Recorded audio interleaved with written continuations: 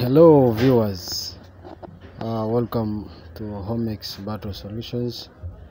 And uh, if it is your first time to see this video uh, my name is santongo mbarak and this is homex battery solutions.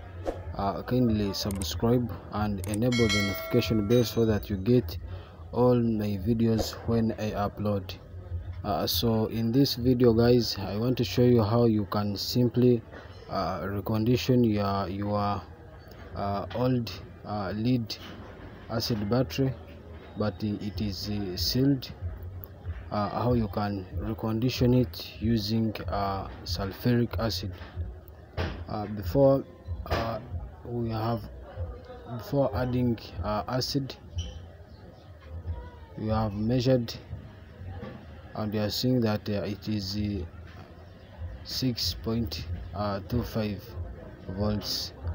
Then we shall add uh, sulfuric acid and we'll see how how, how much volts uh, will it have uh, as we proceed with our video. Uh, we are adding uh, sulfuric mixed acid uh, using uh, a battery hydrometer as you are seeing in the in the video. Uh, and after that you are going to measure the voltage of the battery and we'll see if it has uh, increased the voltage from uh, uh, 5 volts to a certain uh, voltage rate. So kindly follow the video and you see uh, how uh, we are doing this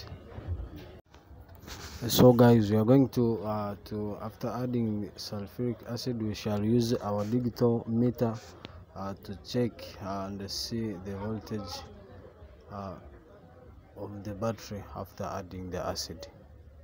So kindly see uh, after adding we shall measure uh, and you are seeing it is 12.62 compared to the other to the other time uh, we had something like uh, 0.5 volts.